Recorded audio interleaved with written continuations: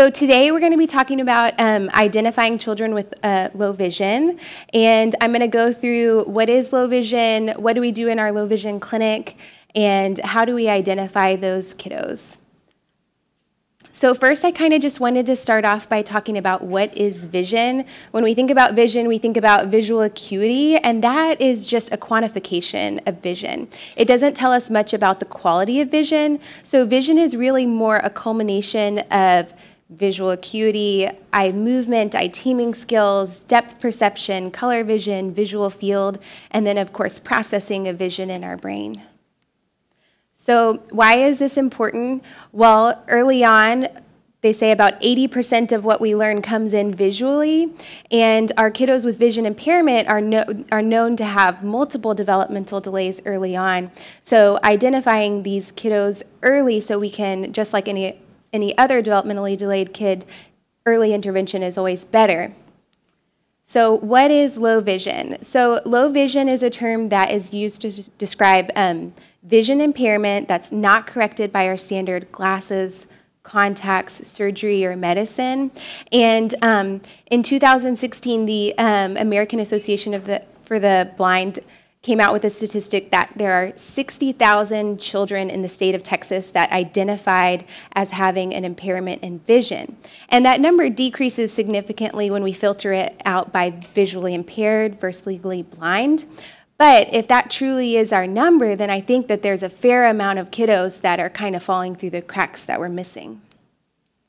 So I wanted to go through and um, talk about, we have two definitions for low vision. We have a clinical definition and we have a functional definition. And our clinical definition is kind of our medical legal term. This is, this is how we define who gets services. And so visual impairment is characterized as a best corrected vision of 20/70 or worse, and a visual field of, or, not and, or a visual field of 30 degrees or less, whereas legal blindness is 2200 or worse and a visual field of 20 degrees or less. And then if we go into our functional definition, well, this is any level of vision that impairs our activities of daily living. So activities of daily living, eating, dressing ourselves, recreational activities, reading, writing, cooking, all these sorts of things. And um, it is important to note that to be characterized as having low vision, you do have to have some usable vision. Whereas blindness is a child who has a vision impairment that is not able to use their vision. So for um, to be characterized as low vision, you have to have some usable vision that we can maximize with either modifications or with actual devices. So um, what causes vision impairment? This is a picture of kiddos. They are twins, and obviously one of them has oculocutaneous albinism. So sometimes we can get an idea about if they're going to have a vision impairment just by looking at the kid. Oculocutaneous albinism being the most prominent, fair-skinned, fair eye, fair, or they have very little pigment in their eyes, and they have um, lightly colored hair, and they they usually have nystagmus or the shaking of the eyes. Um, and then we frequently see kiddos with optic nerve hypoplasia, optic atrophy, kiddos with um, who've had congenital cataracts removed, and then um, of course our kiddos with retinopathy of prematurity. But I still see teenagers with vision loss from retinopathy of prematurity, but the number of kiddos that are visually impaired because of retinopathy of prematurity has decreased substantially because our care of our preemies has um, gotten so good and they're receiving less oxygen, and um, so they're requiring less. They're, less kiddos are requiring treatment, thankfully. And then, of course, our inherited retinal dystrophies such as retinitis pigmentosa, Stargardt's, rod-cone, achromatopsia, aniridia, these sorts of things. And then, being at Texas Children's, we see kiddos from all different walks of life and levels of abilities. And so we do see kiddos with traumatic brain injury and a fair amount of kiddos with cortical visual impairment. And cortical visual impairment is when, generally speaking, the eyes are healthy, but the brain is not properly interpreting vision. So, how do these diseases impair vision? Of course, what the first thing we're thinking of is they decrease visual acuity, they cause blurred vision, um, but they also frequently cause loss of side or peripheral vision, which um, is especially important if they have like left-sided vision loss and we read left to right. So that often affects um, ability to read and requires some compensation and different strategies to help them with that. And then contrast sensitivity. If they have decreased contrast sensitivity, the number one thing that parents and therapists report is difficulty navigating steps. And then, um, depending on what type of eye disease they have, they may have impairment in color vision as well. So, why refer? Well, these kids obviously need eye care. They need a normal, standard, annual, comprehensive, dilated eye exam. We need to be checking on the health of their eyes, and we need to make sure that they're in their most um, appropriate glasses.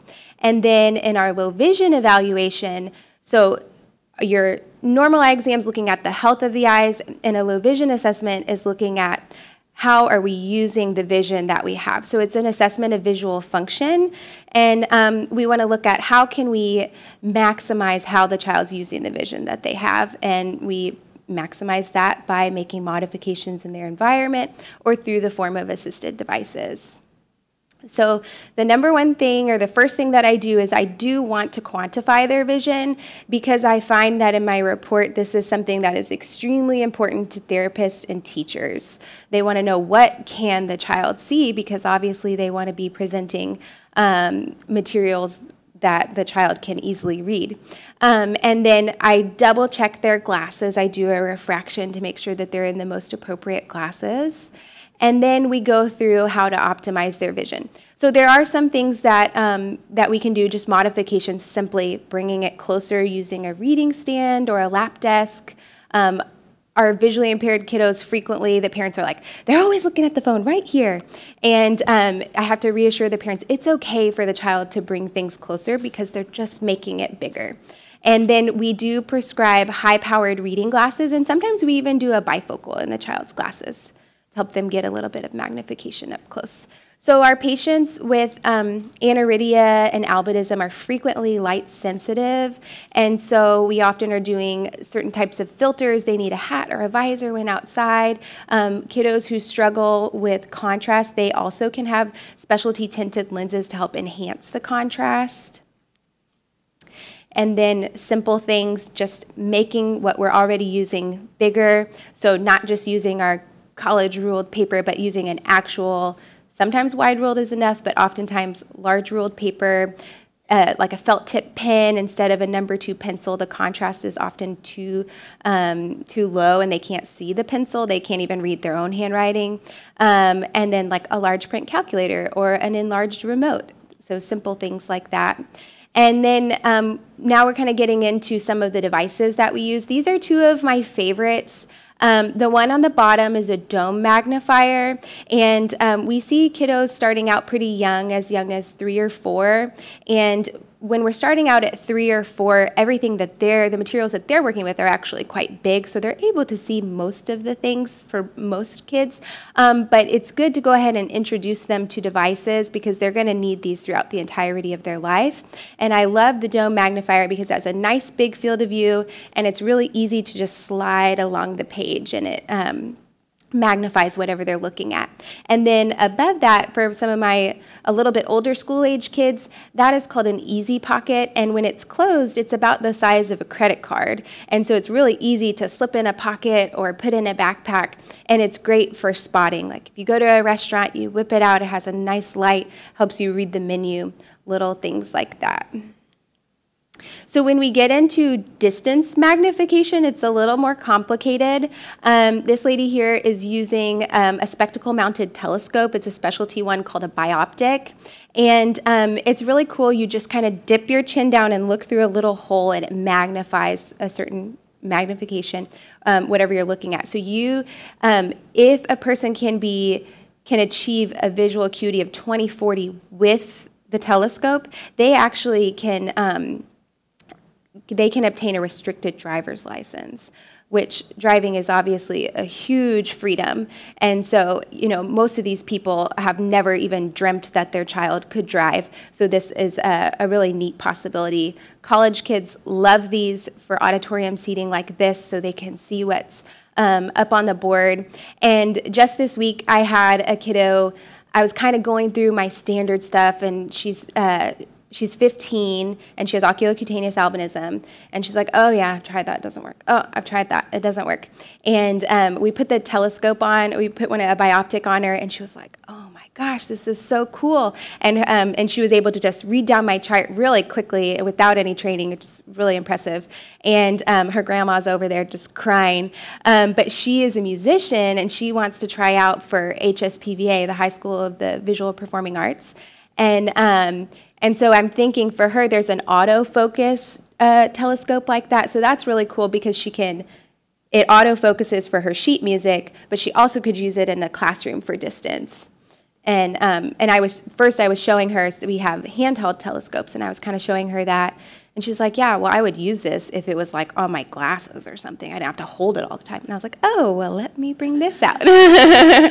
and um, so it's, re- it's really fun to see their response. And even with the handheld magnifiers and with these electronic devices, to see the family's response when they're like, oh, my child can't really read. And sure enough, in the initial stages, this I, I tell parents this exam is kind of like going to an OT or PT session. You're going to come here and work really hard. We're going to get a lot of me measurements of vision. We get like a baseline measurement, and then we get measurements with all the devices. Um, and so, but it's really cool to see them. I have a continuous text card where they read sentences and they um, often kind of fumble through. They can quickly name the letters when we're doing like an acuity chart and then we switch to the sentence and all of a sudden we're really slowly reading. And then you put a little bit of magnification and all of a sudden the child's a fluid reader. And then the parents is in tears because they're like, I've never heard my child read like this. Um, so that's my big job is to make the vision portion easy so the child can focus on learning. Um, so there are a lot of cool electronic devices available. This is a closed circuit television or a CCTV. This is a desktop one, and it's basically like a computer screen, and it has a camera. You can slip anything underneath it. It magnifies. They go up to like 20 times, and you can manipulate the colors um, if they have issues with contrast. And so they're very simple and easy to use. And they, what's really popular in schools right now are the that used to be you would cart this around from class to class, which obviously is cumbersome for the child and they don't like that. But now they've made several handheld CCTVs that look more like a tablet or a device, and so obviously that's more attractive because you know, visually impaired kiddos are just like all our other kiddos. They don't want to appear disabled. They don't want to appear different, um, but they need help. And so it's cool to give them a device that maybe their peers would think is cool too. And then in terms of computer software, we all recognize Dragon, something we're using in our offices every day, but also available to visually impaired kids. There's tons of software that um, magnifies the, their screen and then also text to speech and um, speech to text. And then, really, it's really amazing. This um, generation of visually impaired kids is going to be totally different than any other generation before them because they really have access to so much through Kindle, iPad, computer, um, and the accessibility uh, features that are already built into these devices. And of course, they all know how to use them all without anybody teaching them. um, so my big job is equipping the family with a, making my recommendations in terms of which devices and magnification, of course, um, but then also providing them with a thorough report to provide to the school and a state eye report. And a state eye report is what we give over to Texas Workforce Commission, and that is the state's um, Health and Human Services and Department for the Blind, so that the child can get services um, through the state. A lot of everything that I'm prescribing is not covered by insurance, and they're often very expensive devices, but through the assistance of the state, they can help get things for their house, and then through their local school district, they're provided everything they need in school, or at least they should be. And then I also like to equip my families with um, information about local support groups and resources like um, Lighthouse for the Blind, which has different groups based on age, and they have all sorts of resources for visually impaired and blind um, children and adults. And then um, there's different groups like iBug, which is an Apple users group for visually impaired people. And so Similarly, if they need um, if they need extra help learning how to use the devices that we've given them, then there are certain occupational therapists who specialize in vision, and they'll even go to their house because um, think about things like buttons on a microwave are difficult to see, and they'll add textile cues so that the child um, can cook their food in the microwave or on the stove or different things, just helping make sure that they can navigate even within their own home. And um, if they have a significant vision loss, we get orientation and mobility involved so that they can be learned how to use a cane. And um, social workers, vocational rehabilitation counselors through the state. And this is, a, this is an example of the I-report, or this is the I-report that I fill out, and they have to have this form to get services in school for vision, and they have to have this form in order to get services through the Department for the Blind and it has to be filled out by an optometrist or an ophthalmologist. So, so when to refer your patients? It can be really tricky in a primary care setting to identify kids with visual impairment because they don't want to be identified as different and they are good. If a kid walks in with 20/70 vision, you might never know unless you do a vision screening because they can navigate the room just fine and if they're not complaining about um, vision impairment. So that can be tough, but that's why your vision screenings are so important. Of course, if they have a history, a family history of blindness, or they have a personal history of eye disease, um, but if you do a, a, vision screening and they're 20, 70 or worse, or you have concern for peripheral visual, vision loss, that's certainly um, an indication for referral. And then any kid that you know that has vision impairment um, and they haven't had a low vision evaluation in one to two years should be referred for a low vision evaluation to make sure. It is shocking to me the number of kiddos who are visually impaired that are getting no services in school and really struggling. Um, so thank you all.